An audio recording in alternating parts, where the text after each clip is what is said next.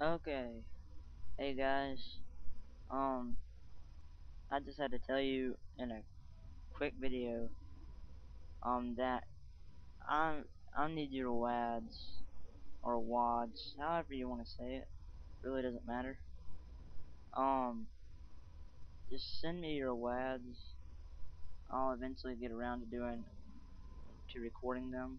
Or just send me a link to a cool WAD or a suckish WAD, silly WAD, a WAD.